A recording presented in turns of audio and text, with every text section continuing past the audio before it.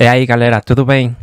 Eu sou o Rodrigo, melhor conhecido como Roy Parker, e hoje vamos falar sobre a saudade. ¿Qué onda bandita? Bueno, pues en el video de hoy vengo con un video un poco corto, no, no pretendo alargarme mucho y el tema del video es la nostalgia, la añoranza por las cosas.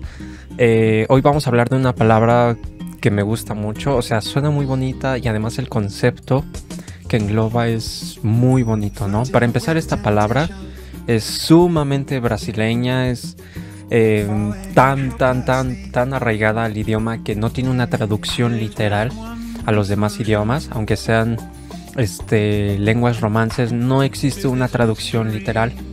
Es, por ejemplo, añorar un buen momento, añorar las buenas cosas. Saudade se, se, emplea más como algo positivo, como te extraño, realmente extraño platicar contigo o extraño cuando iba con mi madre al parque o, cosas así.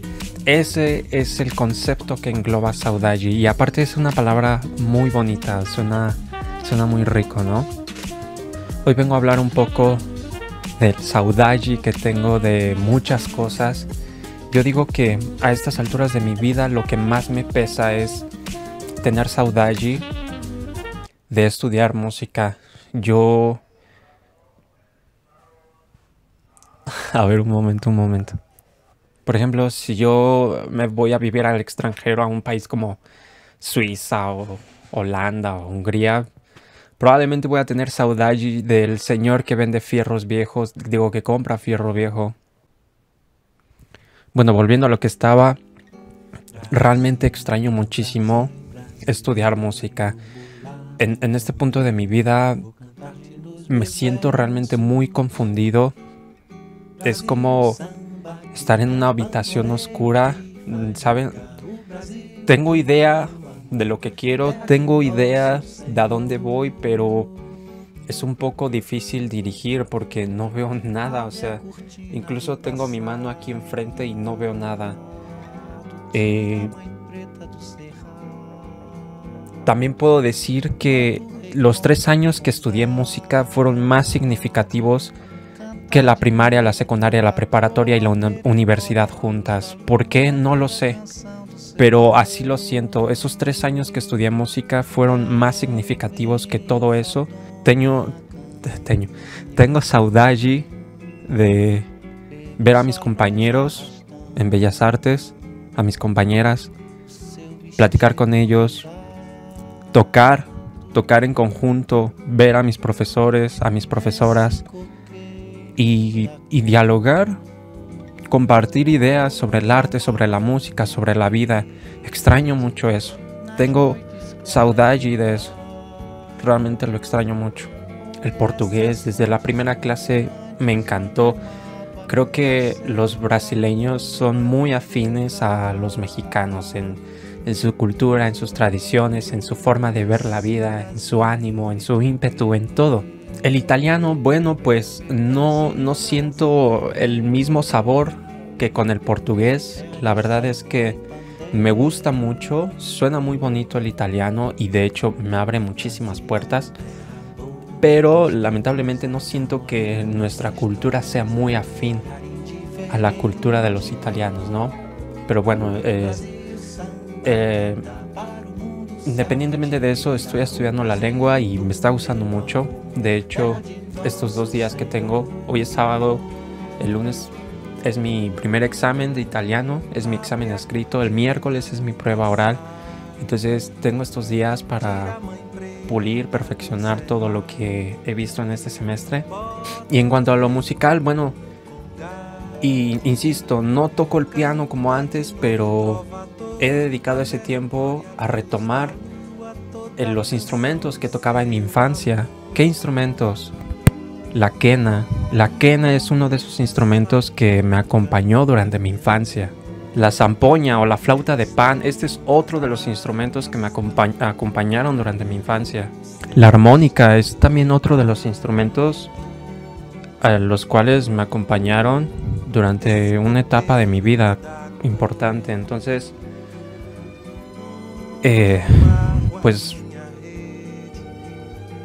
alejarme de esta situación y ver la totalidad es comprender que ese tiempo lo he estado dedicando en otras actividades, en otras disciplinas y creo que está bien.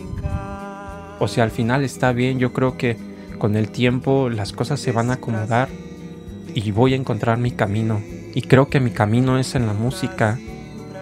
Podré amar la ciencia, podré eh, tener ganas de implementarla para crear cosas, pero realmente yo siento que mi esencia es puramente artista.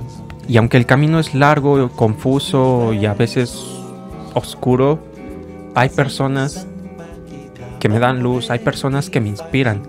Por ejemplo, alguien que todo el mundo conoce o debería conocer, Leonardo da Vinci. Leonardo da Vinci era una persona increíble. No era perfecta, por supuesto que no. Pero todo lo que aportó al mundo del arte, todo lo que aportó a la ciencia inclusive, esa, esa gente es la que me inspira. Y esa gente es la que me hizo tomar este camino. ¿A qué voy con esto? Voy al ingenio, voy a la creatividad, voy a toda la capacidad que tiene el ser humano de crear.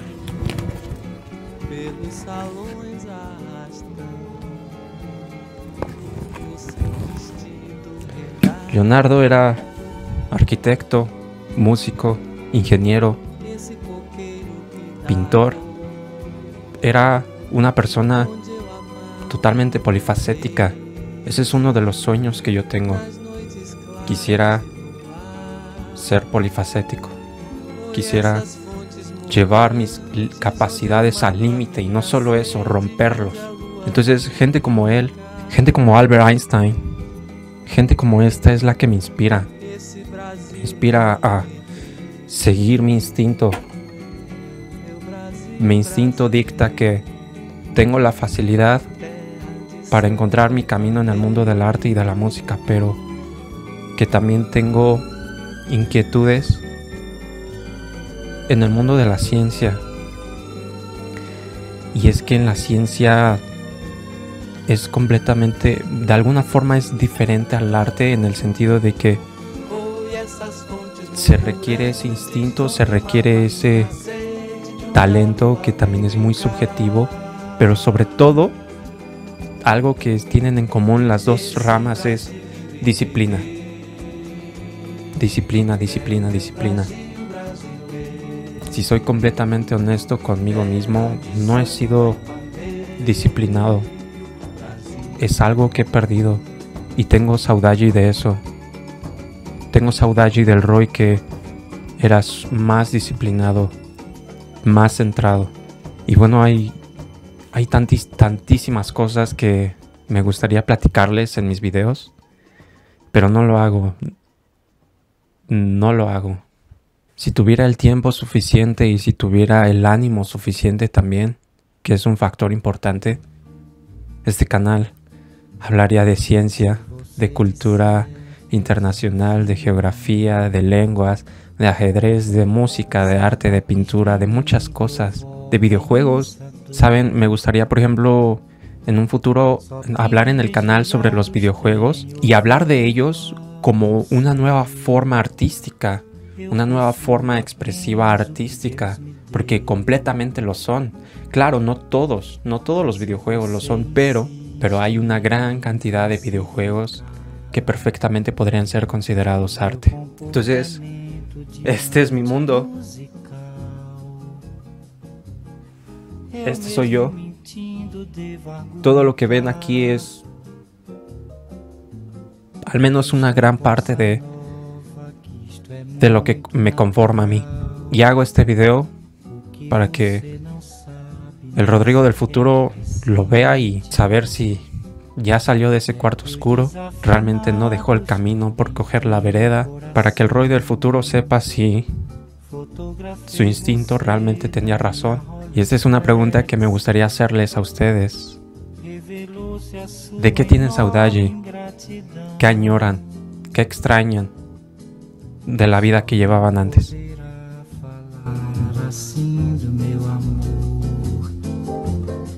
Ele é o maior que você pode encontrar, viu?